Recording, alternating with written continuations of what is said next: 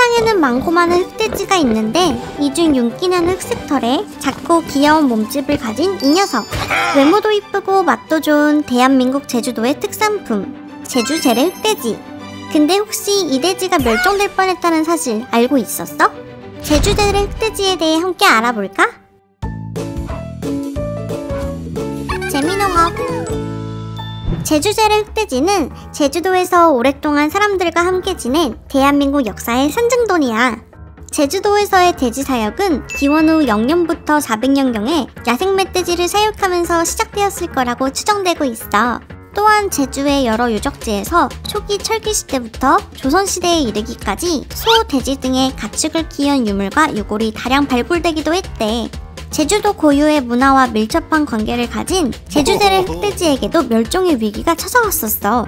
일제감정기인 1908년 이후 생산 능력이 낮은 재래돼지를 개량할 목적으로 다양한 개량종들이 유입되어 재래돼지와의 적정화가 아주 많이 일어났거든. 그러면서 자연스럽게 제주재래 흑돼지의 개체수가 급감하였고 재래종에 대한 관심과 유전 자원에 대한 인식이 고조되면서 재래종에 대한 연구가 시작되었어. 제주특별자치도 축산진흥원은 1986년 우도 등에서 원형에 가까운 제주 재래 흑돼지를 5마리를 확보해 순수혈통의 재래종을 사육 관리했지. 여기서 잠깐 제주 재래 흑돼지는 왜 맛있을까?